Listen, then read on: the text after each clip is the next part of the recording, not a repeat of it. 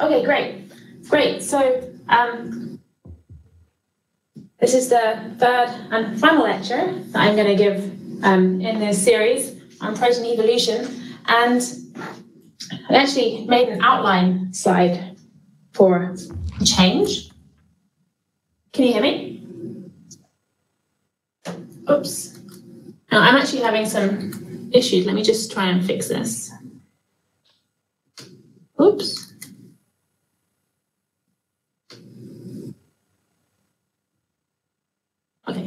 Okay. Good. All right, sorry. I couldn't get the slides to advance. So I made an outline uh, slide here, which basically covers uh, all three of the lectures.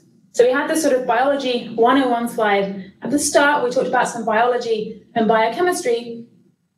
And then last lecture, I moved on gradually to talking about extracting biological information from covariance.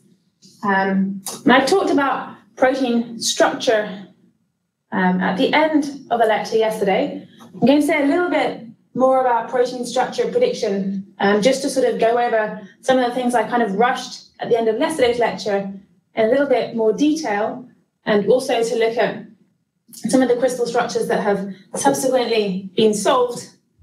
And then I'm going to spend some time talking about uh, predicting or using covariance methods and evolutionary information to predict protein interaction specificity and also um, to think about ligand protein binding. What I really want to get on to today, um, before the end of the lecture, is the theoretical analysis of data limitations. So we're in this very sort of exciting era where we have huge amounts of data and we can try and use this data to answer lots of different questions, but we're always going to have a finite amount of data. So, you know, we have all of these sequences in the database that we've gathered from lots of different species, but we still don't have sort of unlimited amounts of data. I talked yesterday about inferring the second order terms of a, Potts model, essentially, from the, from the statistics of the data. And some people ask questions at the end, sort of alluding to the fact that there must be higher order interactions happening in proteins as well. And there clearly are, but uh, at the moment, we don't really have enough data to be able to sort of uh, evaluate these higher order terms in, in a simple way. And so this means we're going to have to try and understand something about data limitations and certainly when can we predict reliably, but also how can we deal with uh, the noise that is present in our data due to finite sampling and due to the fact that samples are not independent. And I want to argue that there's a central role that can be played by the mathematical theory um, of random matrices. And I hope to tell you a little bit about that during this lecture. So this lecture is going to sort of cover the full spectrum in a sense from um, actual empirical results, um, predictions that might be useful for biochemists or biologists, all the way to some quite sort of theoretical work with random matrices. Um, and as ever, if anybody has a question, sorry, uh, it's, it's a little difficult for me to sort of sometimes see when people, if people have questions, but please just interrupt me and I'm more than happy to at least try to answer these questions. So just to recap this idea yesterday that I introduced in the concept, in the context of protein sequence alignments of looking for covariance in these sequences and trying to use that to build a model that can make predictions about the folded functional protein. So this is really a very simple idea. It's an idea that's been popular for many years. This was first sort of tried way back in the 70s. Um, in fact, Perutz had this idea that compensatory mutations, people knew they occurred. They had these examples of compensatory mutations they'd observed in particular cases. And so the idea that you should be able to look more broadly across sequences was popular for a number of years. And so people tried these sort of analyses. Uh, certainly in the 90s, um, a number of papers were published, uh, but there were sort of problems with being able to actually uh, relate the highly correlated pairs that people found in the data to protein structure and function. Um, but with the sort of inverse covariance trick that I showed you yesterday, or I alluded to yesterday, we're able to recover these results. So this is a different plot to the plot that I showed you yesterday, but this is just showing um, on the x-axis the rank of the high-scoring pairs. So these are the top four 500 pairs in this particular uh, inverse covariance matrix for this adrenergic beta receptor. And on the y-axis, I'm plotting the minimum distance in crystal structure. So this is how well or, or, how good is this approach at predicting contacts in 3D structure. We really want, you know, a sort of enrichment of points uh, along the very sort of low y values. That's what we're aiming for. And we have a number of points, as you can see, that are actually quite far apart in structure that receive high covariance scores. And that's sort of that's interesting, right? We might ask why these pairs receive high covariance scores if they're so far apart in the protein structure. You know, can there really be a statistical signal, signal um, occurring that re reflects an interaction between these pairs of residues that are far apart in protein structure? Um, the recent work, actually, that's been published uh, from the Baker Lab suggests that, uh, at least in the cases where you have a large amount of sequence data and where you try very hard to fit these models accurately, that they don't find any, or they don't find evidence for residual pairs that co-vary very strongly but are far apart in structure. There's a lot of debate about, about that particular question. But nonetheless, for predicting structure, of course, what we want to do is just keep the pairs, uh, the high-scoring covariance pairs that are close in structure. And I sort of mentioned this yesterday that for transmembrane proteins, you can do a very nice job of predicting the topology. So call this membrane helical secondary structure. You can take this sequence um, and using a server like the TMM HMM server that I've referenced on the bottom of the slide, you can predict where the different sequence positions will end up relative to the membrane. And that graphic has quite a lot of information in it.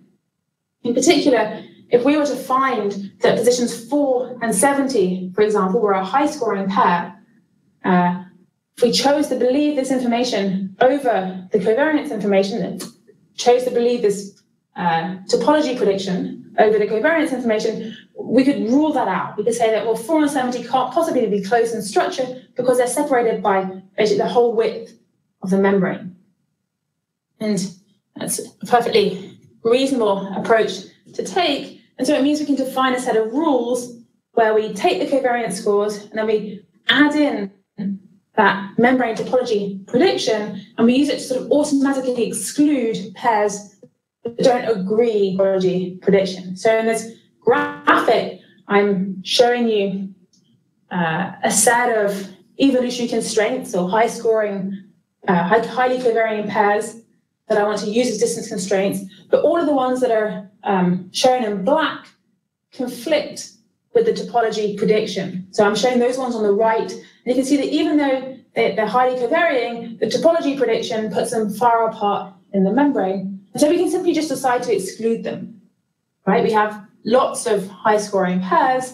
We're going to exclude these ones that uh, contradict the topology prediction, and we're just going to keep the ones that um, are both highly covariant and also seem plausible according to that, that transmembrane prediction. And so when we do that, we're able to take all of those gray spots out of the plot. So we do lose some pairs that are close in structure, right? So there are some that are sort of, you know, seven or five angstroms apart, so small y values that are taken out, but we basically remove almost all the pairs that are far apart in structure through this automated procedure. And that's why the transmembrane structure prediction, those uh, contact map overlays look so clean. We have a sort of extra piece of information that we can take into account. And so uh, this is the beta-2 adrenergic receptor predicted contact map that I showed you yesterday. Um, and those approaches, those, those transmembrane topology predictors, basically take into account the physical characters of the, of the amino acids. So, you know, we know that typically hydrophilic amino acids are inside the membrane, um, and hydrophilic ones are, are outside, and they're more sophisticated than that, but that's essentially information or the kind of information that they're using. And so um, this is that uh, predicted uh, structure for this beta-2 adrenergic receptor that I I showed you yesterday. Um, and again, these are predictions for proteins which at the time had uh, crystallized 3D structures available. So we're able to check our predictions and confirm that they agreed well with uh, the crystal structure data. And of course, you know, it's reassuring to know your predictions agree well with the available data, but the real test in the sense is to make a prediction for a protein for which there's no uh, homologous crystal structure available, by which I mean there's no uh, crystal structure available for a sequence that's related to the protein that you're interested in. And so uh, for transmembrane proteins, we were able to find a number of families for which no structures have been solved. And one of these was the adiponectin, uh, the first adiponectin receptor. So an adiponectin receptor is a seven transmembrane helix protein. So it has the same topology or related topology to a GPCR. The adrenergic beta receptor that I showed you a minute ago is a sort of classic example of a GPCR. And the adiponectin receptor is also roughly the same size. It's about 400 amino acids or 375 amino acids. Essentially, um, it's the receptor for an essential hormone that's secreted by adipocytes. Um, and this hormone acts as an anti-diabetic. So levels of adiponectin in the blood are decreased under various uh, diseases um, and conditions. And so it was really kind of interesting it, to, to find out more about this structure and how it works. So we were able to take a large sequence alignment for this family and uh, predict the contact map for this receptor using the approaches that I've described so far. And of course, in this predicted contact map, there's no gray crystal structure data right? Because we don't have a crystal structure to compare to. Um, but we do see a pattern that's sort of very reminiscent of many of the other proteins we've looked at, reflecting the fact that you have these seven transmembrane helices. And I've marked those in blue on the sort of axes of this plot. So we have this nice predicted contact map, and when we uh, fold it up, essentially we found this predicted structure um, when we carry out this structure prediction from a set of distance constraints, there, there are sort of many things that can be varied. So essentially among that set of high scoring pairs, um, it's likely that not all of those distance constraints can be satisfied by the same structure because we know that typically there are some false positives um, in that set of pairs, in that set of distance constraints, there are some incorrect uh, distance constraints. The, the, the, chain can't satisfy all of them. And so um, these uh, distance geometry programs sort of try satisfying as many of the constraints as possible. But you can imagine different constraints get left out in different uh, examples. And so we end up with a, a range of structures. So you, you can generate as many structures as you like. We typically would generate um, a few hundred structures, uh, both changing the number of distance constraints that we include and also um, allowing the algorithm to sort of stochastically choose different sets of constraints to satisfy. Um, and so then you have to have a way of sort of ranking your predicted structures, and there are lots of features of the structure you might use to do this ranking. Um, and we had a sort of set of heuristics that we looked at, which would do with the quality of the formation of secondary structure subunits um, and other sort of considerations. You know, we had this way of ranking our structures, and this was our top ranked predicted structure. Um, and it turned out um, that's the view into the membrane from outside. And you can tell something about the orientation of these proteins in the membrane because there's a charge gradient essentially um, across uh, the membrane. And so it turned out once we had this predicted structure, we could compare it to all the structures in the database um, and ask the question, is the predicted 3D structure for this protein similar to any known protein structure? And the answer turned out to be yes. Turned out to be just four and a half angstroms RMSD from uh, the protein bacteriorhodopsin, which had been crystallized. But curiously, although the structure had that RMSD, actually um, our adiponectin receptor prediction was, was flipped in the membrane compared to the GPCR. So it was sort of the other way up than you might expect. Um, so, as I mentioned yesterday, we were able to make these predictions for a number of medically important membrane proteins of unknown structure and, and publish them back in 2012. And since then, uh, some of these proteins have been crystallized.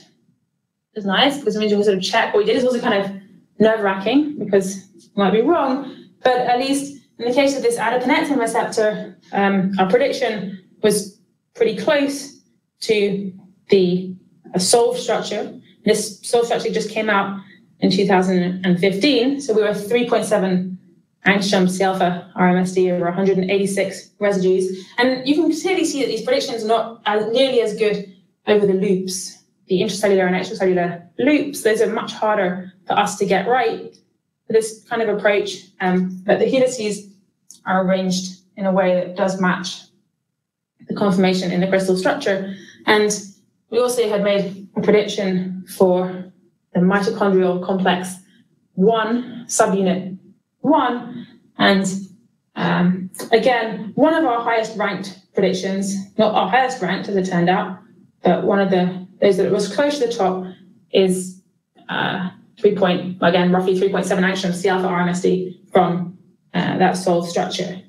So this information, this sort of evolutionary information that describes the structure of these proteins is buried in those sequences, and we have this sort of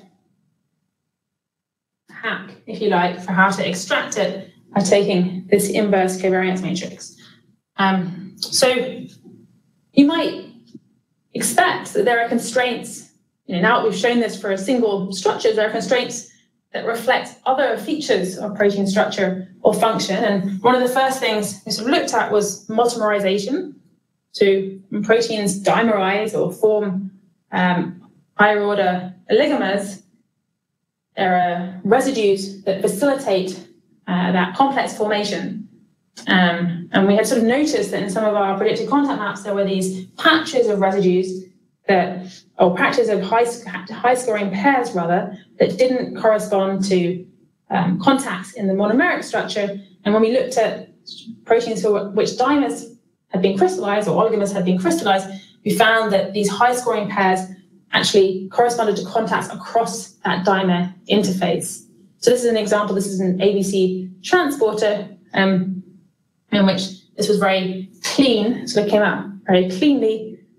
Um, and there's another example, I think, on this next slide uh, for the E. coli methionine importer, where a similar situation, we had this patch of high scoring pairs that we found corresponded to contacts across the dimer interface. So, of course, again, we wanted to see if we could actually do this for um, proteins for which we didn't have the structure. Uh, and we found for the adiponectin receptor that there were violated sort of strong constraints, so highly covariant pairs that didn't correspond to contacts in the monomer, and we were able to use those to predict um, the structure for uh, a potential dimer interface. Um, I don't actually have any information about whether that interface is, is correct or not. Uh, but that was the prediction that we made. So it's sort of an interesting idea that you can predict interactions between monomers. Uh, another sort of interesting area was whether you could capture alternative conformations of the same protein. So a protein has to change uh, conformation in order to function, you might imagine that constraints reflecting both conformations that are important for the function are present in the sequence record. And uh, we had an example in our set of proteins which we had known structures where we suspected this might be the case. So this is the glycerol 3-phosphate transporter. It's a transmembrane protein uh, in bacteria. This is the crystal structure shown here in gray is from E. coli. And essentially, it's a sort of a transporter that works via a rocker switch mechanism. It's either open to the cytoplasm or open to the periplasm. And so you have a sort of hinge-like motion. There are two quite distinct conformations. And curiously, at the time when we published this paper, uh, one conformation had been crystallized a number of times, um, and it had taken a number of years for the other conformation to be crystallized. So somehow it seems as if one conformation was easier to capture in a crystal structure than the other. And our predicted structure was some sort of funny average between these, these two structures. You can see that the purple helices in this diagram are more parallel, if you like, um, whereas the grey ones are kind of splayed out at the bottom, reflecting um, that the, the, the, the, protein channel is, is open um, in, in one of these conformations. Um, and we looked carefully at our prediction contact map, we sort of could find these highly constrained pairs that weren't close in that particular contact map. They kind of are sort of spilling off the end of um, a helix-helix contact. And so this sort of made us ask, well, are those reflecting the other conformation of that protein? Um, so we were able to sort of pull out two subsets of contacts from this data and, and, and fold up sort of two different versions of this protein. Uh, and essentially, we're able to generate two different structures using these two different subsets of constraints, um, one of which was open uh, to the cytoplasm, whereas the other one uh, was, was closed to the cytoplasm and more open to the periplasm. So I think the, the green one, which is open to the periplasm, the green structure in this slide uh, is sort of more, perhaps more convincing. Um, the blue structure is a little less sort of clearly uh, open to one side, but um, this sort of encouraged us to think about um, trying to explore conformational flexibility. We had another protein in our data set, one of these proteins for which we didn't have a known structure, and we were able to see a similar pattern in that case. And so sort of hypothesize that maybe this, this has a similar mechanism, essentially, that we have this sort of helix rocking uh, that you often see from these alternating access membrane transporters. Um, so an even better example of this conformational change was provided uh, when people started looking at this sort of analysis for uh, bacterial two-component signal transduction systems. So a lot of people have worked on these systems um, and looked at coevolution between these interaction partners, in part because they have the nice property that uh, histidine kinase and, and response regulators that signal to each other often signal uh, in a one-to-one fashion. So a given histidine kinase will interact with um, a single, in many cases, a single response regulator, and that interaction will be specific, highly specific, um, and those pairs that interact specifically tend to occur in the same operon in the genome. So that means that you can predict from the genomic structure um, which protein pairs interact specifically with each other. And of course, there are exceptions. There are um, sort of multi-specific histidine kinases, and then there are there are phosphorylates. There are sort of other versions of this system, um, but there are many cases where the signaling is specific. And so you can construct just by looking at the genomic structure of the of, of these proteins, you can construct a large set uh, of cognate pairs. So histidine kinase response regulator pairings. And uh, I should mention that in a single bacteria, there could be uh, as many as 100 different histidine kinase response regulator pairs that all signal specifically to one another. So typically there tend to be sort of 11 pairs or so uh, in a typical species, but you can have many more. So this is sort of an interesting matching problem. And I'll talk about that matching problem a bit more later on, but I just want to talk about the conformational change aspect. So this is a contact map of a histidine kinase response regulator complex that was crystallized uh, from bacteria called Thermotoga. And that's shown in gray. And you can see that there are sort of these, these patches um, that I put circles around in the corners of, of, these plots. So these are the interface between the histidine kinase and the response regulators. You can see in the plot there's sort of two squares if you like. The first corresponds to the histidine kinase and the second to the response regulator. And because in this crystal structure, there's sort of a dimer of, of dimers, there's two histidine kinases and two response regulators, there are two possible interfaces between a single histidine kinase and the two uh, response regulators. And so I'm showing these two different uh, interfaces in, in these plots. So what I mean is that this sort of upper rectangle, when I put the circles, uh, those, are, those are different between these two plots. And so you can see that we're actually capturing information um, about both of those interfaces uh, in, in this plot, which is predicted by taking this large alignment of concatenated cognate pairs. But what's actually interesting is that within the histidine kinase structure, there was a significant patch of high scoring or highly covarying residues that didn't correspond to the, the crystal structure um, or the conformation that had been trapped in the crystal structure. This is interesting because um, of all the histidine kinases that had been crystallized, um, nobody had ever captured the active conformation. So histidine kinase has to autophosphorylate and then pass that phosphoryl group to the response regulator. And it was thought that perhaps there could be a large conformational change involved in that autophosphorylation. And a group from La Jolla were able to show that when they took uh, high scoring pairs uh, identified in that plot on the previous slide and mutated them, they were able to kill the kinase and destroy that autophosphorylation uh, activity. And uh, this suggests that this, this, this large conformational change in which um, these contacts in the circle are actually, or these high scoring pairs actually uh, correspond to contacts is, is, is, is extremely important for the protein.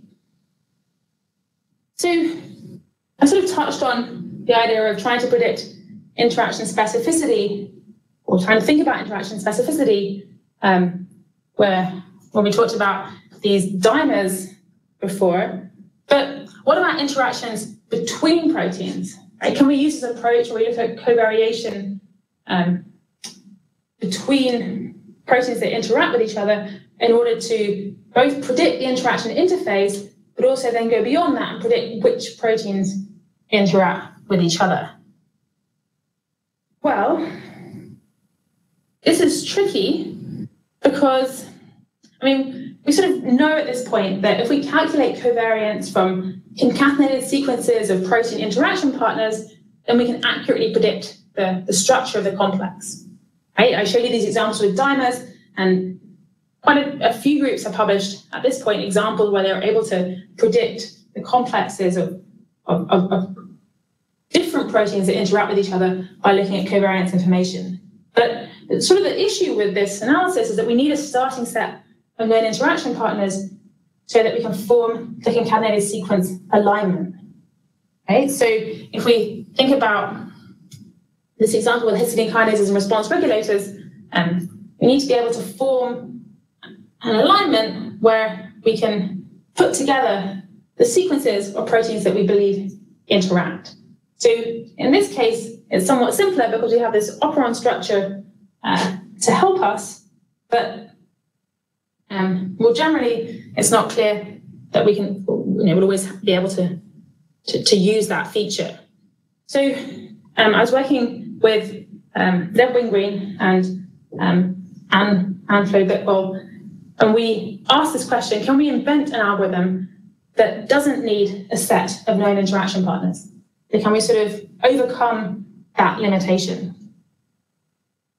So essentially, the idea is that we're going to use the same approach that involves evolutionary information to predict interactions between proteins. Um, so we'll take these concatenated alignments. I mean, if we had this data, we'd just take the concatenated alignments and use that sequence data to build a model, to parameterize this model, and then use the model parameters to predict interaction partners. And I'm going to start off thinking about approaching it in that way, as though I have this data and then ask if I can remove that constraint of needing this large alignment of interaction pairs. So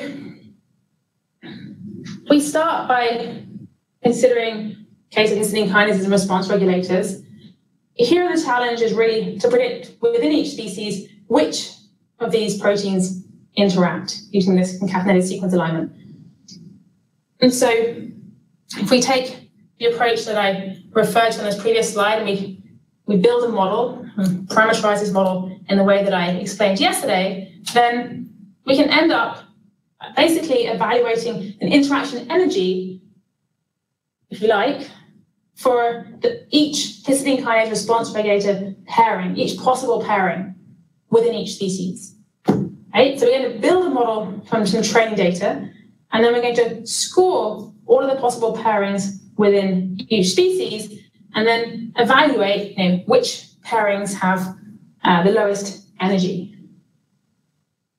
So, um, hopefully that's clear. And sort of the, the key idea that made this interesting was the idea that we could iterate this approach. So say we have some set of gold standard pairings that we know, perhaps from experimental data, um, or from genome structure, or from some information source. We can use those to make a concatenated alignment. And we can then measure the correlations between all the pairs of columns in our alignment and use those to parameterize a model and then calculate interaction energies for all possible uh, protein pairings and essentially rank the possible pairings, choose the best possible pairings within each species, and then use that to make a larger alignment. Right? So every time we sort of do this calculation, we can increase the size of our alignment, and in fact, perhaps even change which pairs are in the alignment from that gold standard starting pair. Uh, question? Yes. Um, yeah, so uh, when you're constructing the training data for uh, for this particular problem, um, mm-hmm. Uh, isn't it also necessary to uh, have pairs of proteins which are known to not interact? I mean, so that you sort of have a you have a base measurement of how strong the couplings are in the case that there is no protein-protein interaction. So I guess we're making an assumption that where we know an interacting pair, so where we, in our gold standard set, we have some pair that interacts, we're, I guess, implicitly making the assumption that other possible pairings in that species don't happen. So that histidine kinase response, you know, is, is, is known in our gold standard set to interact with the first response regulator. We're going to assume it doesn't interact with the other response regulators in the species. We don't really make explicit use of that information though in the algorithm. I, I mean, that assumption is there, but we're not explicitly using it. Um, and it's an interesting sort of question if we could make better use of that information to um, sort of really interpret uh, those couplings physically or to help us interpret those couplings physically. Um, we haven't done that. We didn't need to do that for this, but I think it could be an interesting uh, uh, area to, to, to, look at. Um, but here we're just going to take, yeah, go on, please. I, I can't hear. No, Sorry. No, I, no, no, I just said thank you. That's all. Oh, I see. All right. Yeah. So basically, here we're just going to take the ones that we believe interact, use those to make an initial model, and then we're going to basically uh, calculate that initial model and make predictions for the broader set. So we have you know, some number of histidine kinases and response regulators that are unassigned. We're going to use our model to make predictions for that set, and then keep the predictions we're most confident in, um, use them to uh, increase the amount of training data and repeat and go round and round this loop. And what's surprising about this is that certainly as we iterate, we improve our ability to predict uh, these pairings accurately. So in this case, for this plot, I've started with 200 known pairings. On the x-axis, I'm plotting the effective number of pairs in the concatenated alignment. So that's, when I say effective number, I mean those pairs which are uh, some minimum Hamming distance away from the other pairs in the data. So I guess I'm not counting, you know, if I have multiple pairs that are very similar, I'm just counting the pairs that are, in this case, at least 70% or at most 70% sequence identical. Um, so we start with 200, we go round and round this loop, and we're able to improve our true positive fraction um, from something like 70% to I think something like 85%, something like that. So that was nice, but of course we still needed these 200 known pairs, right? That's sort of a, a, a, an issue if we don't have that data. Well, that led us to ask, well, what happens if we reduce the number of known pairs that we use at the start of this exercise? And we tried sort of 50 known pairs, and um, we're able to still improve to almost the same true positive rate at the end as if we started with 200. And so then we decided we'd start with just a single known pair in our training data set. And of course, there's not really any information in the training data, at least about covariance. We just have one example. Um, so we didn't really expect this to work. And we were very surprised to find that actually we we're able to do almost as well, starting with just one known pair, as if we had started with 200.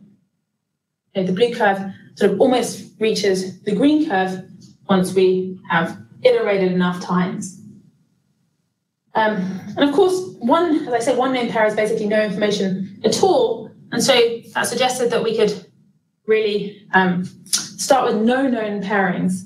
And here I've plotted this slightly differently. So I'm plotting the final true positive fraction against the increment size. This is how many pairs we add every time we go around that loop. Um, and it seems as though, you know, we can, even if we add 10 pairs at a time as we go around that loop, and it sort of, it takes a little bit of time to run this program. Not, it's not, not very long, but um, anyway, it seemed that we could still really do pretty well in the end at predicting this pairing. Um, so we decided that we could try this for some other protein pairs that we knew interacted, and we found that they behaved in, in a very similar way. So we were still able to accurately predict 90 or 90 something percent uh, true positives uh, with this approach. Um, the reason it differs between these different proteins is that they have different numbers of possible pairings within each species. So the histidine kinase response regulator is actually a difficult case because you have, on average, something like 11 pairs per species, whereas for these examples, it was closer to five or six pairs per species on average. Um, and what was interesting is we actually could use the statistics um, as we were going around around that loop, adding sequences in uh, to our sort of training set, uh, we could use the statistics if we did this many times, were the same sequences always added into the, the training set? What was the replication fraction? And we found that we could use that signal to distinguish between proteins that interact and proteins that don't interact. So there's a, a null model here shown in blue, which is what we would expect if the proteins don't interact. Um, when we're sort of scrambling the data, essentially. And so in the case the third case on the slide, the BAS-R MAL-K, these are two proteins that don't interact with each other. And um, for those proteins, the replication fraction really matches the null model, um, sort of reflecting the fact they don't interact. Whereas for the other two cases where the proteins do interact, we have a signal which is quite different. And that's because basically uh, the same pairs of proteins are either in the sort of, or they get added into the set that we're confidently predicting interact, or they're not added into that set. Whereas for the, the, false pair, um, it's really very random whether a single pair is added in or not.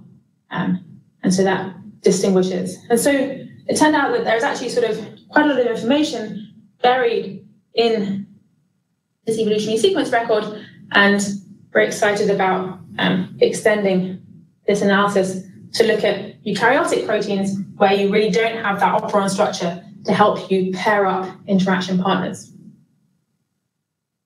So, we sort of talked before, I showed you this slide yesterday. Just, just one question, please. Yes. In the previous slide, um, uh -huh. I have no information about those proteins, but is that sudden decrease in probability in the MALG. Mm-hmm. Yeah. Same something about its function, its role in the protein? No, I mean, this is really just telling us um, do pa- so in this case, the fact that the replication fraction is sort of concentrated at zero and one means that out of all the possible pairings, of proteins. So all the possible pairings of BAS with BAS-R um, within each species, the same pair pairs tend to be not predicted to interact and also to be predicted to interact. So it's sort of a bimodal distribution essentially. And that's because it's a, it's a reproducible signal. Every time we run the analysis, we get the same outcome um, because these proteins really do interact. Whereas in the third case, that BAS-R MAL-K sort of fake pairing, those proteins don't interact, you can see that there isn't that bimodal signal. So it's, it's really random. Um, every time we run the analysis, different protein pairs are, are, predicted by the algorithm. So there's, there's sort of no real signal there. It's just reflecting um, noise. It's a little bit subtle to explain this plot, um, but we do have a very distinct signal between proteins that interact and proteins that don't. But it's not really capturing anything more about the proteins than this question of whether they interact or not. I don't think it's reflecting anything about um, function. Uh, yeah. Um, so, but you know, this question of whether we can predict anything, about protein function from covariance analysis, I think, is very interesting. I've said a lot about structure and now about interactions, but I haven't talked about function. Um, I sort of made this assertion yesterday that sequences record the outcome of millions of evolutionary experiments and they're constrained by the requirements of protein structure and function. But function, I think, is, is much more complicated. So it seems as though we should be able to, to, to say something about function using this approach, um, but it seems more complicated than um, the approach uh, to predicting protein structure. And I just wanted to, yesterday I sort of said a little bit about protein dynamics, and here I have a couple of movies that I've taken from a website um, at UCSB, actually. Um, this is looking at hemoglobin, the example that I talked about extensively for the last couple of days. Um, but basically, really extremely important for protein function. So here, you know, we're sort of watching a conformational change that occurs in this protein. Um, and you know, the idea of being able to use a sequence record to explain how this works, to be able to engineer a protein to, to, to, to, to function in this way, um, or to be able to, to change the function of a protein, I think is, is, is, is really very interesting. Um, and I don't think that this is uh, a question that people have really definitively managed to answer yet. The idea would be able to design a sort of group of amino acids to you know, result in this kind of motion, I think is still uh, beyond our grasp, although people have made interesting progress you know, in, in specific examples. So here you're watching the motion that occurs, you know, once you can see that oxygen molecule, once it has been bound by that heme group. Um, I also have another movie on this slide um, which is illustrating perhaps how the motions involved in the opening and closing of a protein called hexokinase. Um, I think there are a lot of important questions that need to be answered about how you could engineer this type of conformational change or motion. And I don't think that we have a good idea about this. I do want to mention um, some work from the Ranganathan lab uh, a few years ago, where they again used protein covariance analysis of large sequence alignments to try and identify groups of residues that control distinct functional properties of proteins. So they published this, this paper uh, where they introduced this idea of protein sectors. And they basically took a, a correlated mutation analysis where they they, they, can, they consider the, the covariance matrix itself rather than the inverse. And it's a weighted covariance matrix. So they, they weight the covariance by a function of conservation. They sort of uh, messing with it slightly, but, but it is the covariance matrix itself rather than the inverse.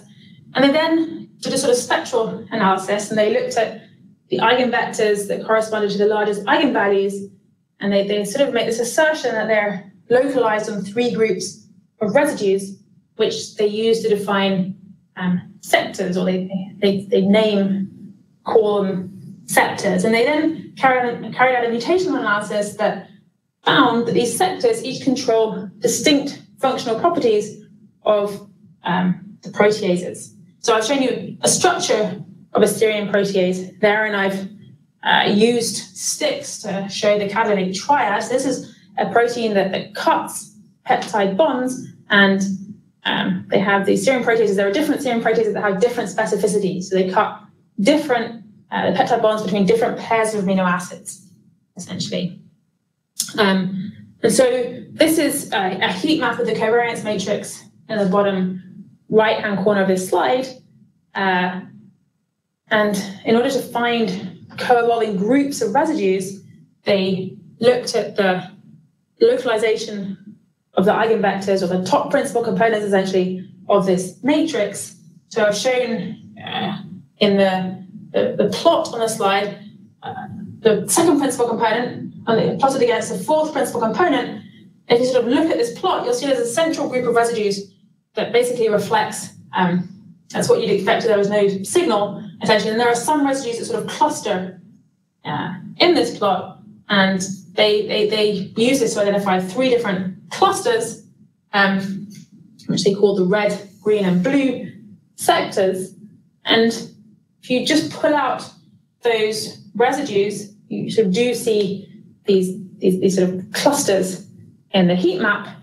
And what was really surprising is that they showed experimentally that if they mutated residues within the red or the blue sector, then they would either affect the thermal stability of the protein or the catalytic activity of the protein, and depending on which sector the residues were in.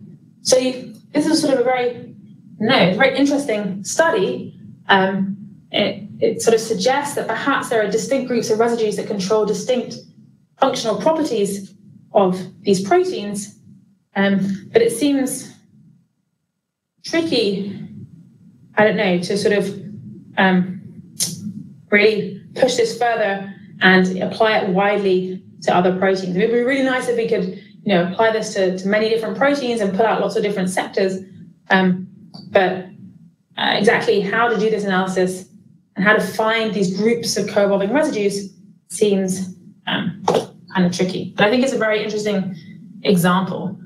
So I sort of want to return to this idea that you know we have limited data. So it would be nice to do something about what we can predict reliably and what we can do to address sort of noise due to finite sampling. So when I showed you that example earlier, where we were predicting uh, which proteins interacted or which homologs interacted with each other, uh, you can see that there's a clear dependency on the amount of input data that's available right? So here I've plotted the total number of pairs in the alignment on the x-axis, and you can see that as the alignment size grows, so this is the number of sequence pairs that we're going to predict over, that, you know, if we have 10,000 pairs, that we can do a much better job than if we have a 1,000 or a 100 pairs. And likewise, when you use these approaches to predicting contacts in proteins, uh, yes? Uh, could you go back to the previous slide? Yeah, of course, yes. Yeah, uh, so uh, how exactly does the false positive fraction scale here? Because uh, again, in your training data, you, you didn't include uh, non-interacting partners. Mm -hmm. So is, is there a good way of estimating the, the false positive fraction and sort of thinking of this curve as some kind of, a, of classific in terms of classification accuracy? Uh, huh So, so basically, so, I mean, I guess uh-huh. usually when I mean, usually when you see true positive fractions on the y-axis, it's it's accompanied by a false positive fraction on the x. So I get, yeah. You mean if I was predicting a ROC curve? Yeah. yeah. If I was if I was plotting a ROC curve. Right. Um. Yeah. So this this this. I guess this isn't quite the same because I'm making a prediction for every single um, pair in my data set, right? And um, within each species, I predict that one pair interacts and that the other pairs don't interact, right? And I've sort of, you know, I've, I've taken the data, um, I've taken data for which that's the case. Okay, so I have a number of species for which I believe, to the best of my knowledge, that there's one interacting pair, or each histidine kinase has one interacting partner, right? Right. So there's kind of there's a one-to-one matching, um, and you know that histidine kinase therefore doesn't interact with all the other response regulators. Right. Right. Yeah. So here somehow the final true positive fraction, um, like I'll show you a case where I have a ROC curve later where I have true positives and false positives um, for a different problem. But somehow for this problem, um, it's not the case that if I make, if I if I predict more true positives, I also predict more false positives. Like, right. um, it's sort of somehow limited by the total number of species essentially, and the number of pairs within each species. Um, I'm not explaining this very clearly, but um, the false positives are basically this is a t- true positive fraction. So um, yeah. the other predictions I made that weren't true positives, I guess, were false positives. They kind of sum to a, a constant number here.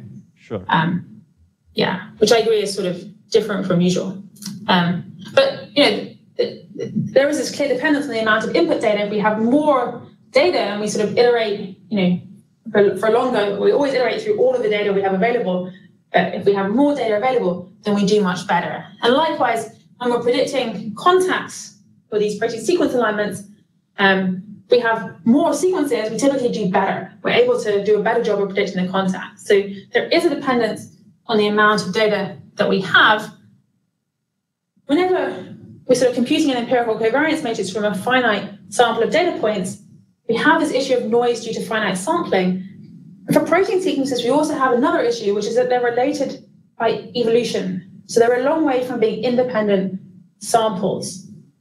Now, the covariance matrix, the, the sample covariance matrix is, in general, sorry, can you, I'm getting some connection issues, is in general the maximum likelihood estimate of the true covariance matrix. But if we don't have IID samples, then we sort of clearly have a big source of noise. And so I want to sort of make the argument that a natural framework to address this first issue, this finite sampling issue, is provided by random matrix theory. I want to show also that you can extend this theory to address this second problem.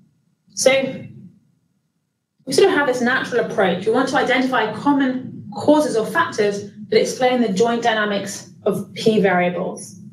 So we're going to consider a data matrix X that contains n samples of p variables, and we want to ask the question which variables interact, right? And so essentially we're trying to estimate the true covariance matrix, and we're going to do that by simply constructing a sample covariance matrix, which is basically we take x times x transpose and you normalize by n. This is if our data is, is mean centered. So We have this problem though that the data are highly undersampled. So that means that because we have a sort of finite sampling issue, I, I mean by finite sampling that we're trying to estimate all the numbers in this covariance matrix. So if we have p variables, there's you know, p times p minus 1 over 2 numbers that we're trying to estimate. And so we need a large amount of data to be able to do that. And if we're in a sort of situation where n is on the same order as p, rather than being much larger than p squared, then we're going to have a finite sampling issue.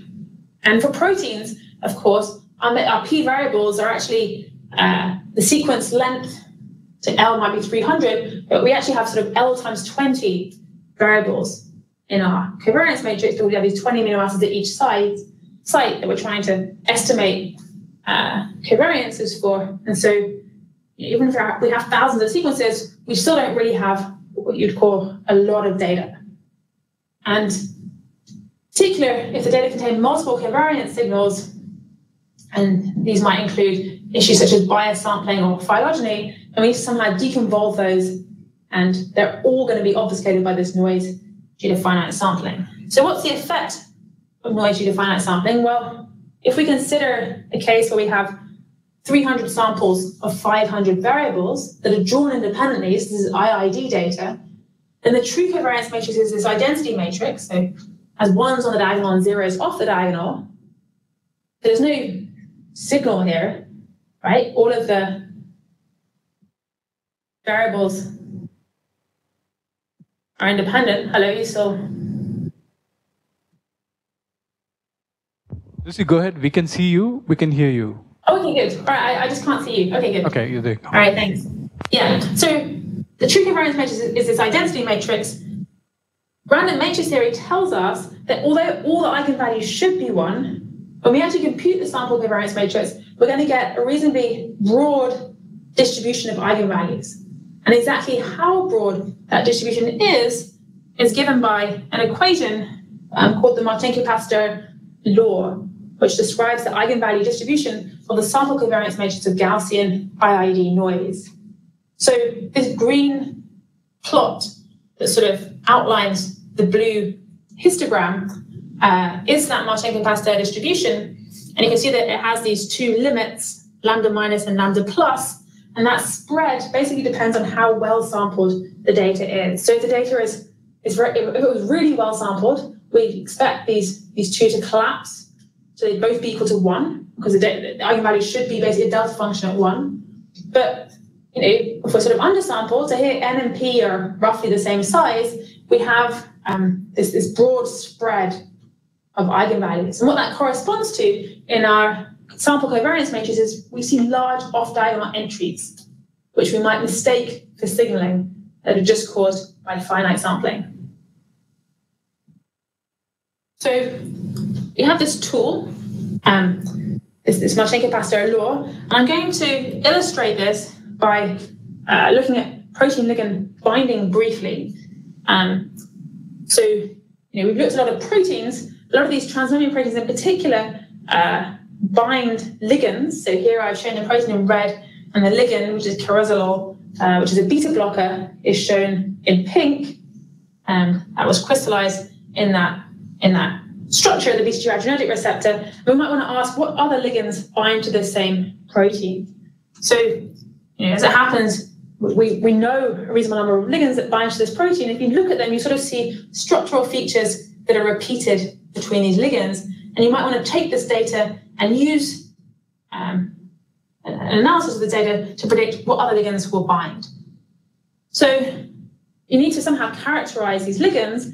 Uh, for proteins, we used uh, sequences. Um, for these small molecules, people have developed various molecular descriptors, and in particular, uh, chemical fingerprints, as the descriptors I'm going to talk about. So it's a representation of a molecule as a string of bits, zeros and ones. Um, and typically you use a 2D structure, the molecular graph, to generate this string. And the idea is that a specific chemical moiety will give rise to a particular pattern of bits. So if you look carefully at this sort of long bit string, and there are various length molecular descriptors you can use, but 1024 or 2048 are common lengths. You see that there are a few ones in among all of those zeros, and that corresponds to the molecular graph shown on the left-hand side. This is a fingerprint called a Morgan 3 fingerprint. Um, and essentially, uh, we construct these fingerprints by starting sort of centering on each atom and then considering uh, if you go out sort of one, two, and three bond lengths from this atom, what fragments do you encounter?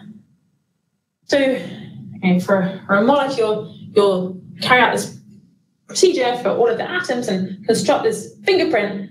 And what we might ask is what information is contained. Yes, is that a question? Hello. So, uh, do you put uh, the ones on those sites where the ligand binds to the receptor or something like that? No, no, no. this is just purely describing the ligand. So there's no information about the receptor in this. We're just looking at the ligand. It's just a property of this molecular graph. Okay, so, so the, the, ones encode a specific type of uh, like amino acid or something. Some. Uh, you know, you could do this for an amino acid for sure. You could make a fingerprint. It's basically just saying which um, which bonds, uh, which, which which molecular fragments are present. So um, if you you can see that there's sort of these little pieces of the molecule that are illustrated um, underneath, uh, and they get progressively bigger because you're considering larger and larger um, circles, essentially, and you're just asking what fragments exist in this molecule. So I do this for every atom in this molecule, and I just count up all of the fragments and um, convert them into this binary fingerprint. And there's a hashing function involved in uh, going from the fragments to particular locations in the fingerprint, um, which actually is sort of slightly difficult, makes it quite sort of difficult to, to invert this uh, because there are some examples, there are some instances of bit collision where uh, the same bit represents different fragments. Um, but that's sort of a technical issue. But basically, this gives you a bit string for each molecule in the same way that we have a sequence for each protein. And so you might ask, if I take a set of ligand, ligands and I compute their fingerprints, what does the covariance matrix of these fingerprints tell me? So if I consider a thousand random molecules from ChEMBL, I can carry out this procedure. And if there are a thousand random molecules, and I'd expect there not to be any particularly significant covariance between them, so I should be able to apply this random matrix theory law. And indeed, if I carry, carry that out, I find that I have an observed distribution of eigenvalues that's shown in blue, and it matches that Marchenko-Pastur law surprisingly well, given that all I tell the Marchenko-Pastur law is uh, the number of samples that I have, so in this case, a thousand, and the number of variables in each sample. In this case, I think it was 1,024. So um, that's all very well. Basically, what I'm telling you is the spread of the eigenvalues due to noise can be predicted using random matrix theory. But what happens if instead I consider a thousand ligands that all bind to this adrenergic beta receptor? So I now have this idea that these ligands should have something in common because they all bind to the same protein. And indeed, if I carry out that same procedure, and my Marchenko-Pastur distribution changes slightly because I don't have a thousand ligands that bind to adrenergic beta receptor. I have fewer. I have maybe a couple of hundred that I know. Um, so the spread is broader of, of noise eigenvalues. But the question is, can I just take those modes that are outside of my noise distribution and use them to describe or to build a model that describes binding to this receptor? So essentially, can I denoise the data? Can I remove all of this noise due to finite sampling that's sort of shown to me by the random matrix theory analysis and, and leave um, a model that does a good job of predicting binding? And the way that that corresponds to a model is that if I then have a new ligand, which I compute the fingerprint to, or I can essentially project that fingerprint onto the subspace spanned by these signal modes, and I can say that if the ligand essentially lies in that subspace or is sufficiently close to that subspace, then I'm going to predict it binds to the receptor. And if it doesn't lie in that subspace, then I'm not, I'm going to predict it doesn't bind to the receptor. So of course, I can uh, take any truncation of these modes. I can take the one predicted by Marchenko-Pastur or any other truncation. And so we tried all of these truncations and assessed how well they did at both identifying ligands and also rejecting decoys. And so I have on the x-axis of this plot the number of eigenvectors or modes that I've included, and on the y-axis I have the percent accuracy, right? So how well I'm doing both at identifying ligands and also rejecting decoys. And so really what I want is a point where these two curves cross. I want the model that does the best job of identifying ligands while also uh, being sort of stringent and rejecting decoys. And what was surprising to us was that the point at which those curves cross is really rather close to that Marchenko-Pastur threshold. And, you might sort of dispute that. You might say, well, it's not that close. But if I show you the same plot for the, the, the adenosine receptor, which is a different receptor, which you also have a number of known ligands, you'll see that the point at which they cross is, is very different in terms of the number of modes, but it's still well identified by this Marchenko-Pastur threshold. So we carried this out for all the receptors in ChEMBL that we could find where we knew 120 ligands that bound, so a fairly large amount of data, and we found that we made this plot of the true positive rate. Hello? Yes? Uh, sorry, I have a question. Can you please repeat the, yes, please. the can you please motivate the truncation part? Um, I'm. Oh, yeah, so you mean um, why am I truncating the number of eigenvectors? Is that, yeah, that's a question, yeah. So, I mean, essentially, I have this hypothesis that those eigenvectors above this Marchenko-Pastur threshold correspond to signal, whereas all of the eigenvectors that are smaller than the threshold are just reflecting noise. And so if I remove those modes from the data, if I, if I clean that noise from the covariance matrix, then I'll have a more accurate uh, estimate, essentially, of the true covariance matrix. And uh, so I'm somehow also, it's a little bit subtle, but I'm, I'm, I'm suggesting that the true covariance matrix somehow describes binding to this receptor because I've just taken those ligands that bind to the receptor, right? So if I had taken totally random ligands, I would expect the true covariance matrix would be the identity matrix. But here I've taken just these ligands that bind a receptor, so I would expect to see covariance between them, and I expect that covariance to describe what you what features you require to bind to this receptor. That's why I'm I'm truncating um, the eigenvectors, and the reason I'm trying all the different truncations is, you know, I have this random matrix theory based hypothesis, and I want to compare it to all the other possibilities. So you can see that if I had included all of the eigenvectors, when in fact I haven't shown you, I've, I've, sort of truncated the plot at 300, I could have carried on to 1,000 or however many eigenvectors I have, which will depend on the dimension of the data. But you can see already by 300 modes, uh, this model is much worse, right? So it, it does identify ligands, but it's very, very promiscuous. It does a really bad job rejecting decoys. And so that's sort of reflected by this, this ROC curve. Um, you can see that there's a, a trade-off right? As you increase the true positives, you also uh, increase the false positives, but the area under this curve, which is the metric people usually use, is, is, is pretty good. It's 0.9. So we've managed to build quite an effective model just by looking at covariance. And indeed, if we then look at those first eigenvectors and sort of invert them, we find uh, features that we sort of know reflect binding to these proteins. This was for an adrenergic receptor and this one. Um, so essentially, we've sort of showed that removing the noise present this data set, that's noise due to finite sampling, greatly improved the ability of the resulting model to make accurate predictions.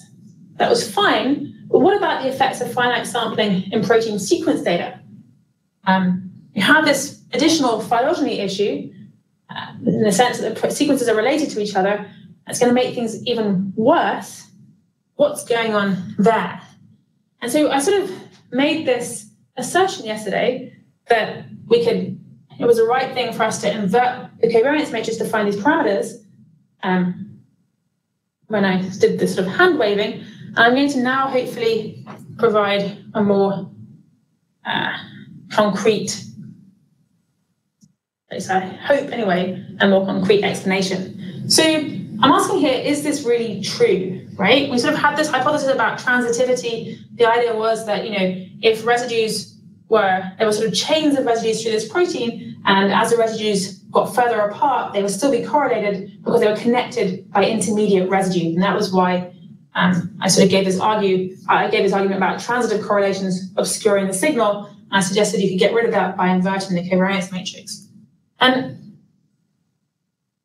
I'm sort of um, I'm not really convinced by this argument because, of course, what we can do is simulate uh, a system. So we can take a contact map and, you know, use it to parameterize a model, essentially put ones where the contacts are, and then we can run a simulation. And it's actually, if you do that, if you run the simulation to generate sequences and then compute the covariance matrix, you actually find you can recover the contacts pretty well.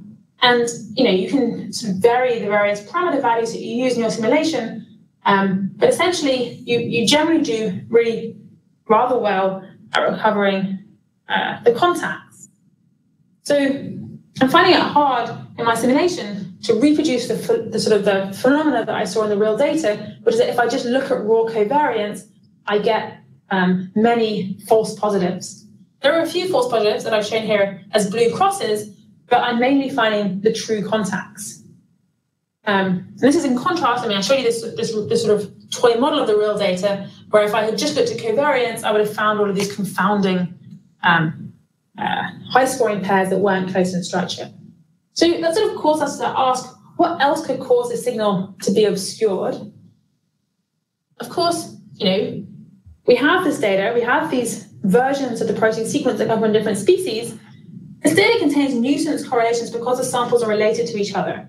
They're not IID, they're related by um, a phylogeny. So there are sort of two covariance matrices that we could compute. We could compute uh, the sequence covariance matrix, so the relationship between the rows of this data matrix, and that's what we would use to compute a phylogeny for this data. And then, of course, we have talked a lot about computing this residue covariance matrix. Yes, please. Uh, previous slide, please. Yes? Go to the previous slide. This one? Yeah. Uh, yeah. You talked about uh, uh, contact uh, contacts. That -huh. the, that the blue crosses tells us about contacts, but yeah, those are those are those are not they're, they're sort of next to contacts, but they're not quite contacts. But yeah. So does it tell us about the nature of the contact? Maybe what is interacting with what? Maybe a particular atom interacting with a particular uh, another atom. Maybe in the case of a protein ligand interaction. So this is just this is just within the protein.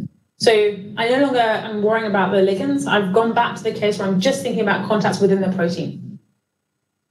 But even within the protein, does it tell us about nature of the contact? Maybe salt, uh, bridge, uh, salt, uh, maybe decipher. Uh, yeah, that's a, it's a good question. So um, people have done quite a bit of analysis of this question, um, and certainly. So when I show you this picture, I've taken essentially a small, a 20 by 20 submatrix, um, where it's 20 by 20 because there are 20 amino acids, and I've condensed it to give me just one number. Right? But if you look at those submatrices before you sort of do that condensing, then people have uh, found that you can see some evidence of patterns that correspond to different types of interactions. Uh, I think that's it's a good question. Um, there are a couple of references I can send you where people have, have done this analysis and tried to find signals, if you like, of different types of interactions. I mean, salt bridges is, as you said, is, is, is, a, is a really good candidate for that. Um, but that information has sort of been reduced by the time I show you. Basically, I take the 20 by 20 submatrices and I calculate a norm to give me just one number for each pair, each, each pair of uh, sequence positions. Uh, but that one number came from this 400 uh, numbers in, the, in this matrix. Um, yeah, that's an interesting question. Um, so, one more. But yeah, sure. Suppose I do a, a, a simulation of uh, okay, since the contact is between the protein, uh, the atoms in the protein. Uh, suppose yes. I do a simulation of a, uh, protein, maybe protein dynamics, and then protein ligand, uh, protein ligand dynamics. Mm -hmm. Can I use this contact map to know uh, the nature of, I mean, how the protein, I mean, how the ligand is uh, affecting the protein in terms of uh, its uh, contact? I... Yeah, that's an interesting question. Um, I don't think anybody has shown that you can do that, but I don't think it's that means that it's not possible. I mean, it just you're sort of asking, you know, I mean, I guess can you say something? I mean, can you say something about where the ligand binds just by looking at these covariance um, data? Yeah. yeah. For example, where and how it binds. Yeah, where and how it binds, and maybe the yeah. the type of bond that the that that, that the ligand is disrupting. Mm-hmm. Sort of yeah, something like that. Yeah, I, I think that's that's that's a very interesting question, um, but I don't know how to do it.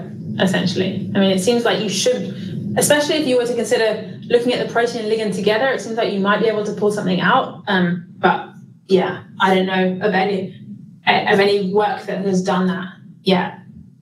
But essentially, we have this problem with phylogeny, and if I include phylogeny in my simulation, then I'm able to very well reproduce this phenomena that the covariance matrix doesn't accurately recover contact. So in the right-hand uh, picture here, I've included phylogeny as well as the contacts, was in the left-hand picture, I just have the contacts in my simulation. I don't have any phylogeny. So phylogeny causes problems. We'd like to be able to control for that, essentially. So to do that, we need to know what covariance is caused by the phylogeny, what confounding signal is caused by this phylogenetic structure. So we can start by considering a sort of toy model where we have a perfect tree phylogeny. Right? We're going to consider a founder sequence of key residues, which we independently evolve for M mutation steps, and then we uh, duplicate the resulting sequence, and then take the two sequences and uh, simulate those evolving for M mutation steps, and then duplicate those two sequences and so on and so forth. Right, so we're, we're simulating a tree here which has equal branch lengths, um, and there's an equal number of mutations on each branch, and we're going to uh, consider that it duplicates at every branching event. The branching events, of course, because of the equal branch lengths, are occurring at the same time, and so we end up with two to the b sequences which are related by this phylogenetic tree, and we can then take those sequences and calculate the covariance matrix. And of course, if we calculate the sequence covariance matrix, we see this sort of very regular structure in the, in the data. Um, it's highly structured, and that of course has to have an effect on the eigenvalues of that covariance matrix. So we'd like to know what that effect is. And so we can sort of construct a model, essentially, where we have m mutations per branch, our sequences are a length p, and our alphabet is of size q, so we might have q equals 20 amino acids. We're going to start with q equals 2 because it's simpler. And there's this parameter alpha that I'm going to define, which is basically um, sort of the key parameter to understanding this whole system. And that's because the elements of the covariance matrix are given by powers of this parameter alpha. So if I compute the covariance matrix, uh, we have ones on the diagonal, and then if we had just two sequences, we'd have alphas off the diagonal.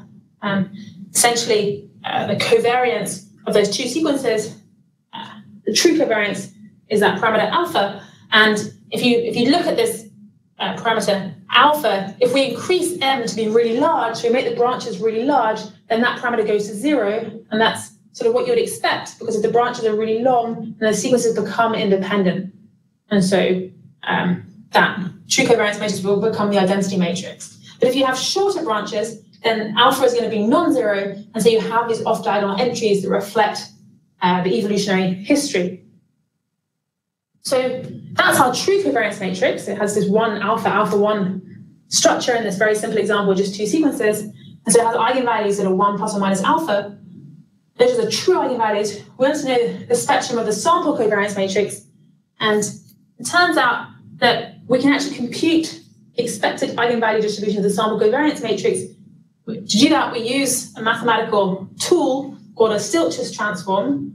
So the Stieltjes transform G uh, is given by this equation. It's a bit like a Fourier transform, um, but it's, it's, a transform that basically um, is useful, is used very frequently throughout random matrix theory. Um, and essentially it tells us something about where the eigenvalues are. So where these eigenvalues lambda, when z equals lambda, essentially you get a, a pole, um, and the Stieltjes transform is telling us about the locations of these poles.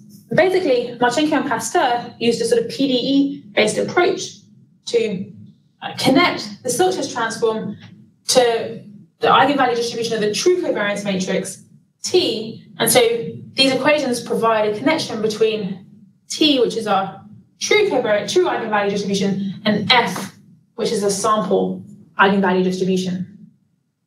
So these equations are difficult to get a good intuition for. I'm not going to try and convey an intuition here. I'm just going to, you know, we have this connection between these distributions T and F, and it turns out that um, in the case of phylogeny, the eigenvalues are discrete. so that means that uh, the inverse Stieltjes transform, which we need in order to recover F, so we can, we can get F out if we can compute the inverse transform, um, it's simply reduces to finding the positive imaginary root of a polynomial. And that's good because um, I'm not very good at solving integral equations, but I do know how to find positive roots or the positive imaginary roots of polynomials. Right? So sort of glossed over a lot of theory very quickly, um, but this root finding is not difficult technically, and uh, that means that we can compute these uh, distributions, uh, the sample eigenvalue distribution that we'd expect that's caused by phylogeny. And I can confirm by simulation that my calculation is correct. So the simulation here is shown in blue. These are for trees with different branch lengths, essentially. Um, if I have very long branches, then uh, I recover the Marchenko the independent case. But if I have shorter branches, then my distribution starts to look quite different. Um, and so uh, this machinery is allowing me to characterize the effect of phylogeny on the covariance matrix. And I can actually make a nice phase plot. I can find boundaries in, in phase space. I can solve them analytically. Um, and this blue sort of corner where the branches of the tree are really quite short corresponds to where I actually have two spectral bulks that are split. Um, so you can see phylogeny is really having a large effect on the covariance matrix. And it turns out that so I can also, yeah. Yeah, so you have about 10 minutes, including time for questions. Okay, that sounds good. Um, so I basically explained the theory to you. Um, I explained it for a very simple case. We can carry out the same analysis for deeper trees. And it turns out, surprisingly, that we actually end up with a power law uh, for the eigenvalues. The eigenvalues of the true covariance matrix follow a power law that's caused by phylogeny. And the eigenvalues of the sample covariance matrix we can show also follow a power law. And it's quite nice because it means we can sort of see the effects of phylogeny very quickly just by plotting the eigenvalues on a log-log plot. We can show that they actually um, follow this power law. So this is for simulated data, um, and they obey the prediction that we would make using the phylogeny parameters. Um, if I make the trees more complicated, everything essentially still works out. Um, and what we find is that the theory still works for these more realistic trees where I have different branch lengths. Um, and I, again, I can plot uh, the phase diagram. But I think what's really interesting is what happens when I put both phylogeny and interactions into the simulation. Well, then I find that power law is still obeyed. And in fact, um, if I just had interactions alone, I wouldn't have a power law. I basically would have a, a, a, a slope of zero, right? So it, just interactions doesn't cause any, any power law in the data, right? I just have a slope of zero. But once I put the interactions in, I get this, this, this positive, well, uh, this particular slope. And so that suggests that actually um, I could use this to clean the phylogenetic corruption from the sequence covariance matrices. So I know that it's this power law that's caused by phylogeny. If I can uh, control for this power law or remove this power law from the data, then I can recover just the part of the spectrum that corresponds to interactions. So in this simulation case, it would correspond to these sort of small eigenvalues that don't obey the power law. That's what I'd want to keep. And so we can actually do this for real data. We take the covariance matrix of a large alignment of DHFR sequences, so something like 8,000 sequences, and we compute the eigenvalues, we find that they do indeed obey a power law as our theory would predict.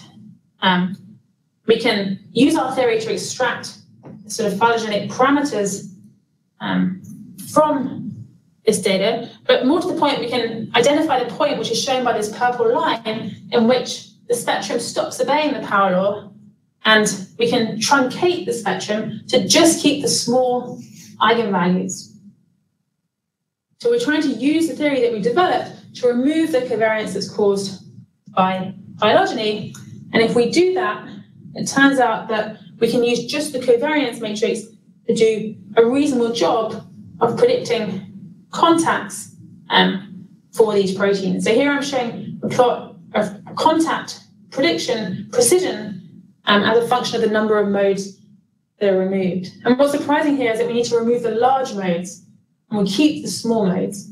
And what I would suggest is that the matrix inversion that I told you before basically has the effect of achieving this um, because uh, when you invert the matrix, you basically invert all of the eigenvalues. So you kind of upweight the small eigenvalues and you downweight the large eigenvalues. Um, and so this provides a sort of alternative explanation for why that matrix inversion uh, was able to uh, improve contact prediction. And I can show this for a number of different proteins. Um, uh, this threshold that you would determine by removing the, the phylogenetic corruption uh, tells you the point at which you should uh, truncate your, your eigenvalue spectrum. Um, so, uh, yes, I'm more or less out of time. Thank you very much for listening. Um, if anyone has any questions, I'd be more than happy to answer them.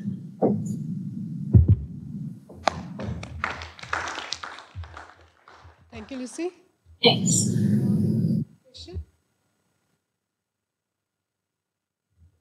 Questions? Um, yeah, I have a question. So, um, so, so in a lot of, uh, so, so in your work with uh, looking at uh, co-varying residues and, and predicting, uh, uh, you know, structure contacts based on uh, highly co-varying residues. So, so in a lot of, so for instance, in a lot of, I think, tumors and such, you see these gene fusions where, um, like the gene which encodes protein A and a gene which encodes protein B, they both get fused to form a functionally folded protein. So it's basically two, two concatenated amino acid sequences that, that still fold correctly. So, so given that you know the covarying residues for A and the covarying residues for B, uh, is it possible for you to somehow intelligently reconstruct what the covarying residues for A plus B would be? Um, so you mean if you know if you have the two proteins separately and you analyze them separately, Yeah. and so you know the covariance patterns within the proteins, can you say something about how they're likely to form a complex or um, if if both A and B, uh, if the genes Uh-huh. for A and B fuse and they form one contiguous Yeah. amino acid sequence. Sure. Yeah. Sure. Well, I mean, in a sense, I mean, the genes fuse, right? But the actual proteins are going to, I mean, they become one protein, so one chain, but they will basically have an interface where the, Right. sort of the two domains, if you like, are making contacts across the interface. Um, I don't know how you could sort of go about from the two separate protein covariance patterns, predicting where that interface might come about. Um, because I guess what you need in order for this to work is some information about, you know, the covariance between the two protein domains, essentially, once they've that complex. Um, I guess you could perhaps compare if you had sort of ex- species where they were two separate proteins versus species where they were fused um, to make it a single gene, then you could compare perhaps the covariance patterns across those two cases. Um, but I think you really need that evolutionary information to, to, to help you out. Uh, yeah, as far as I can can see. Um, Yeah. So a little Yeah. bit on the same lines. Uh, uh, if you ha- there are many groups of proteins families which are uh, truncated uh, by evolution, they may be of this different lengths. So and also we saw the example of a protein uh, which was hijacked by viruses. Uh, I think, that- so- and a part of the protein was left, and they have different domains. So if you apply your uh, uh, techniques on their predictions, would you have different results, or would you have that largely con- um, nicely? Yeah, that's an interesting question. I mean, basically, all of the examples I've shown you so far have been these very sort of well-studied protein domains where they're aligned using a hidden Markov model, you know, to a fixed length um, sort of framework. Um, but if you you have these situations where you know maybe like part of a domain is lost or something like this, and then that's clearly going to affect uh, the covariance signal, and dealing with this case is going to be much more it's, it's more difficult essentially. Um, yeah. Also, structurally disordered proteins, I think somebody brought up yesterday, those are much more difficult to align in, in this sense. Um, and so there has been some work where people have, have made some progress with this problem, but, but again, it, it's, it's more difficult, essentially. Yeah.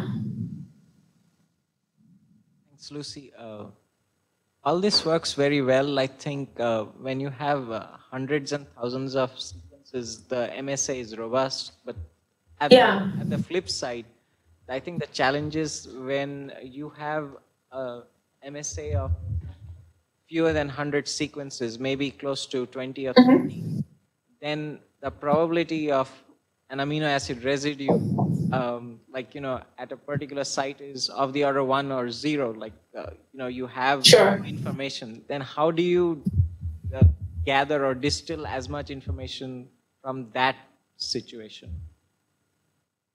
Yeah, I think that's a good question. I mean, you know, this, this question, you know, sort of basically your signal is likely below the noise threshold, right? This is the problem that you have. And the question is, how can you um, massage the data essentially in such a way that you can reveal that signal even though it's so obfuscated by noise?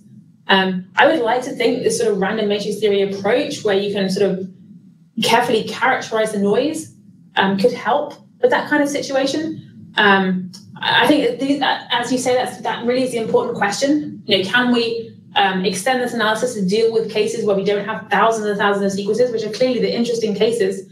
Um, and you know, I think this is perhaps a fruitful direction to pursue, but you know, I, I certainly am a long way from being able to solve that problem. Um, and I don't know if other people have have better ideas, um, but yeah, it's it's important, but as far as I can tell, it's pretty difficult. Yeah.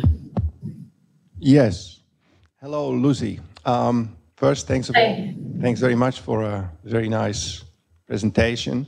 Um, Thanks. I have um, one comment and, and one question. So um, sure. my comment concerns um, the, the use of this Potts model for predicting protein-protein interactions ab initio. So the way you uh -huh. the way you presented this was as if this was an idea that you guys had for the first time and, and developed. Oh, sure. It is not really accurate, right? So there is a paper going almost 10 years sure. ago where a very, very similar approach is taken. So that would maybe be sort of um, academic etiquette to sort of mention this prior work. And no, no, no, absolutely, yeah. And the second is a is a question um, that I have about this uh, uh-huh. approach for um, using random matrix theory to, to show that um, part of the phylogenetic signal is taken care of by this, this inverse. Do you think that this, uh -huh. um, this also applies to this other model that we developed, which uses a Bayesian network and, and looks at the determinants of the Laplacian of the mutual uh-huh. information uh -huh. matrix? Do you think that a similar thing is happening there, or is there something else going on?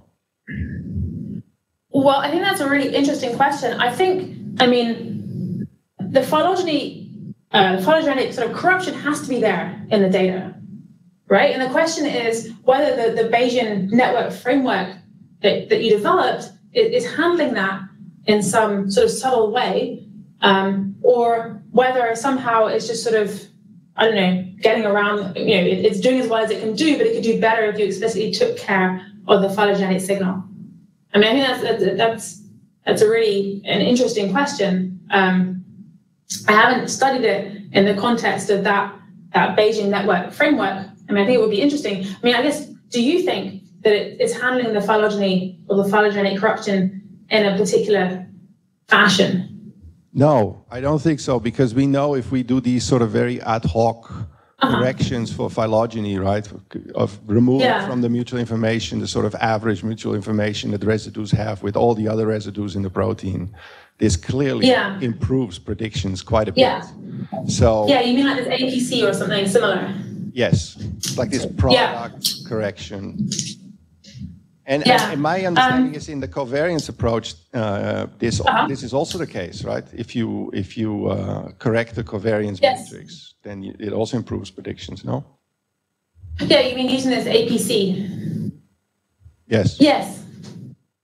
Yeah, and I think um, I think, I mean, I think basically what you're saying about that being a sort of phylogenetic correction, um, I think is, is, is, correct. I mean, I think it basically has the uh, effect of sort of somehow almost equalizing, uh, yeah, different rows. I, I, I, basically think that has the effect of sort of meaning that if you take the top top 10% of um, uh, contacts or sort of predictions for each row or column of the matrix, then, then they would all be sort of equally significant. And that's what the APC is doing. And I think it is via that, that, that mechanism correcting to some extent for phylogeny. Um, but I suspect that you might be able to do better if you handle the, the phylogenetic issue more um, directly than just that APC. So I'm sort of not, um, I'm not making a direct comparison yet here.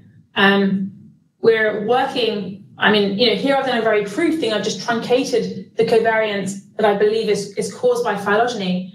Um, but we're working on doing something which is more subtle, which involves sort of explicitly like a linear transformation that take, tries to take care of the phylogeny. So you can correct your covariance matrix and then carry out whatever kind of analysis you, you, you sort of please with that corrected covariance matrix. Um, and so in, in, the same way, you know, if you're doing the Bayesian network analysis, you could first correct the mutual information matrix um, and then carry out the analysis in the same way as before. And so what we're trying to figure out now is, is the best way of doing that correction. Um, but yeah, your point about the Bayesian network analysis is well taken. I mean, that work that, that, that you published um, many years ago, I thought was still making the prediction, though, of which um, pairs were interacting with each other. Um, I, I, I, didn't understand that if it goes further and is able to distinguish between protein pairs that, that you know, sort of interact and don't interact, um, but I, I, should go back and read it more carefully. Um, no, no, but that. Yeah. Okay, uh, we can talk about it offline, but th yeah, yeah, yeah, can sure. be, that can be quantified by the exact same measure. yeah, that, that would be really interesting. Okay. Yeah, thanks. Thanks, Eric. Thank you. Thank you. Okay, um, so um, I'm uh, Sanjay Jain, and uh, um, hey. uh, yeah, I uh, uh, really learned a lot from your lectures. Um, there's one thing that um, I uh, would like to request. If um, you know, it was not easy to take down references uh, from your slide. Oh, sure, yeah. Uh, from your I should I should populate them with yeah with with, with references and and send send the PDF. Yes, so that, that, would be, be, that would be very helpful. Yeah. I mean, for uh, sure. all the three talks, if uh, you know, for each of the uh, topics uh, covered, if you could, uh, you know, give uh, give sure. a list of references that one can go back to, and and, and that would be very helpful. Um, and sure. a specific, more specific question about the random matrix um, results, um, particularly the ones in which you are um, trying to take care of the contamination from phylogeny. Uh, yes. Do you have uh, some results which, um, you know, of uh, predictions that you're making with, -huh. you know, before removal of that contamination and after removal of that contamination, you know, wherein one can see that it, it, it has actually made a um, difference, a positive difference? Well, I mean, um, the, the, the, correction or the difference is made um, if you're using raw covariance, you can see from this plot here, right? So if I don't truncate any of the modes, um, then I, I'm basically here in this figure um, at zero. So um, because I'm removing the large eigenvalues as I move across this plot. And so if I don't truncate any of the modes, then the, the raw covariance really does a very poor job of predicting contacts. Whereas if I move remove these, these large eigenvalues from that covariance matrix, then I'm really able to greatly improve um, the precision of predicting contacts. Now, of course, um, if you want to compare this to sort of other methods that people have developed, where you know they use the inverse covariance matrix or they use the pseudo likelihood or various other um, approaches, then the, there's sort of you know people add pseudo counters the data. There's quite a lot of other machinery that's folded in and so making a direct comparison, um, I think is something that's important to do, but I think it's it, it, it gets more complicated, basically. Um, but I think this plot already shows, and you know, trypsin is a protein that behaves particularly well, but it shows that by removing these large eigenvalues, it's sort of something like 400 largest eigenvalues you have to remove, we're really able to greatly improve the ability of the raw covariance matrix to predict contacts, um, which is quite surprising. Okay, thank you. So, Thanks. Uh, one last uh, short question. Uh, please, uh, I want to know uh, how to use uh, the contact map to to make a distinction between different functional properties in a protein.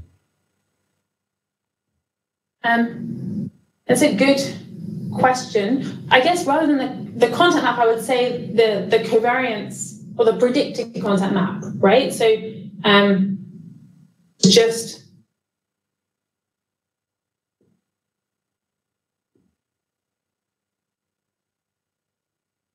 feature information to make predictions about functionally important. Um, but I, sort of suggested that, and I haven't really given you any evidence that I know how to do that. Um, uh, so I guess what I'm saying, I think it's a, an interesting area for future research. People have made claims in the literature that they can do this. Um, and solid those claims are. I think they're very interesting. Um, and I think there's a lot of work that needs to be done because I think that's a very interesting question to try and answer. It's clear that there's some signal, I think, but it's not really clear yet how to definitively extract it, as far as I can tell. Um, but that's just my opinion. Yeah. So unfortunately, what I'm saying is that I can't really answer the question. Okay, please remember to send the material you talked about, please. Yes. Yeah. I can send the material about, yeah, the different kinds of contacts and stuff, for sure. So thanks, Lucy, very much. And yeah, thank you. Thanks.